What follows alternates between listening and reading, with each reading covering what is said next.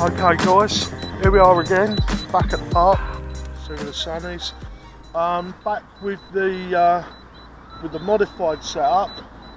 Just tried to show you the DX6i. I'll roll in some pics if uh, the video is not any good.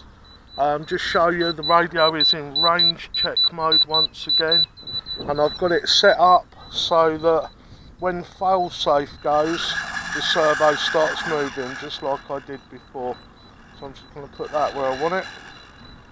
That there will do. That's stopped. So what I'm going to do, like I did before, I'm going to walk away from the radio directly towards the same tree that we did in the first test. Hopefully no one will run off with the DX6i and we'll be able to see the range improvement given by this modification. Okay, so let's get walking. I'm not going to pace it again. I'm going to use Google Earth to do the measurements and uh, we'll see how we go.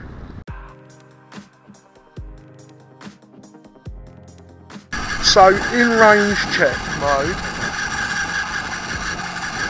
looks like we've got about another about another 15 metres. I'm now about 5 metres from the tree.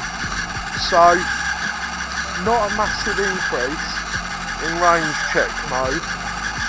However, uh, the radio is very low, it's only a few feet from the ground and the ground here falls off quite considerably. So what I'm going to do now, I'm just going to walk sideways Okay, so the ground raises up here. I'm just going to see, there we go, we've got control back. Now, I haven't walked closer to the radio, I've just walked sideways and the ground raises up here slightly. Walking sideways. Continue. Right, I'm going to start walking away from the bench again. Right, yeah, at that range there, we're uh, we're getting the signal drop out again.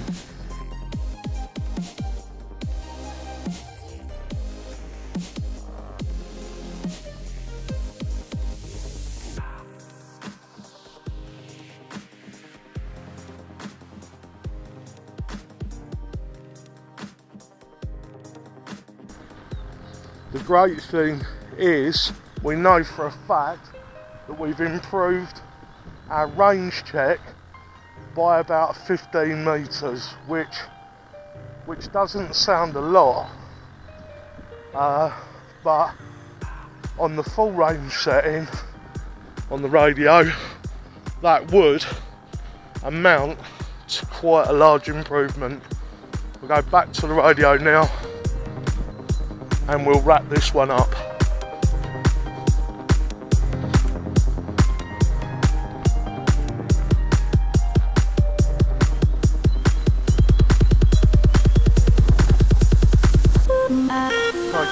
We are back at the radio.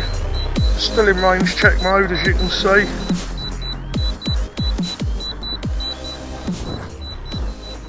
So there we are. We are using a three leaf and a four leaf omni aerial, omnidirectional aerial uh, to increase the range. There's no uh, fiddling with the power settings, uh, just literally modifying the orange receiver and the DX6i to give yourself an increase in range and a much much more robust signal because of the circularly right hand circularly polarized aerials on your setup. Now for proximity FPV at reasonable ranges this is a great idea. Um, this was the reason that I was experimenting with this setup because I was really interested to see if I could use my existing radio to give me really good legal um, solid connection for flying at this park. Well I can get almost halfway across it using this in range check mode so I know pretty much anywhere I go in this park even if I'm flying behind things this should give me a solid signal. I'll see you in the next episode where I show you how to convert your orange receiver and any 2.4 gigahertz radio with a UFL connection inside. Bye for now.